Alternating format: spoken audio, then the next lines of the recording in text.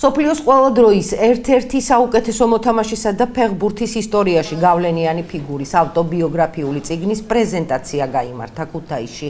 იოჰან კრუიფის ავტობიოგრაფიული წიგნი ჩემი შემოbrunება დათო ტურაშულმა წარადგინა და სასტუმრო არგოში ლეგენდარული ფეხბურთელის შესახებ ლექცია წაიკითხა. შეხვედრაზე დამსწრეს ონლაინ ჩაერთო ჰოლანდიელი მეცენატი როდერიკ პოსტი, რომელმაც წიგნის ქართული ვერსიის გამოცემაზე იზრუნა. წიგნი არტანუჯის გამომცემლობაში გამოიცა.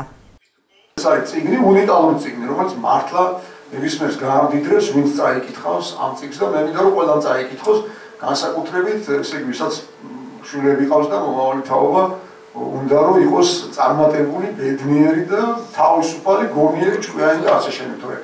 ნიჭერი მისედაც რომ ამ ციგში ის არის, რაც ჩვენ გვაკლია.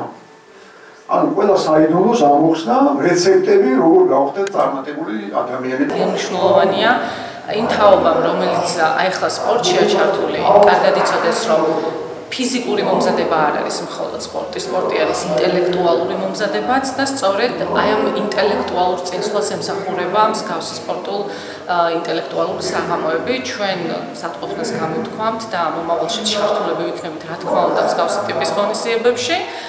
და წარმატებას უსურვებ ყველა თითოეულ მონაწილეს და თითოეულ სპორტსმენს საქართველოში.